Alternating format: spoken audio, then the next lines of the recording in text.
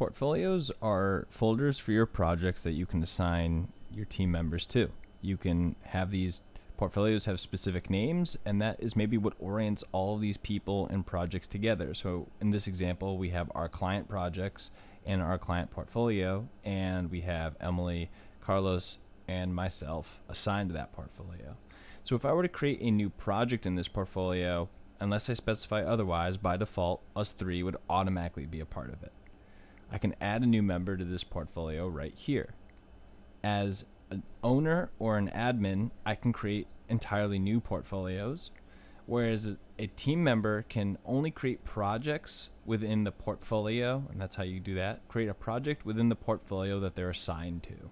So I could have someone assigned to, let's say, just IT implementation here.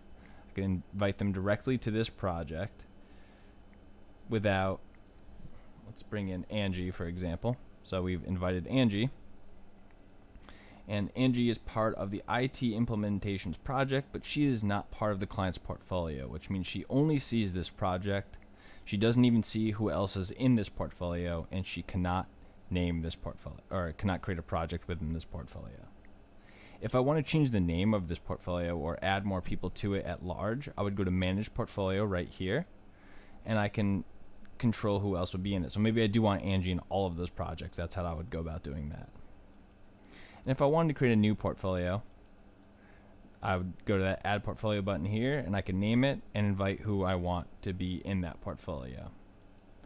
Every team has a general portfolio by default, which has all of the members of your team automatically invited to it. You can't change that. You can't rename this portfolio. So if you want to create custom portfolios that have more privatized information, that's where you'll need your owner or team admins to create custom portfolios with this button here.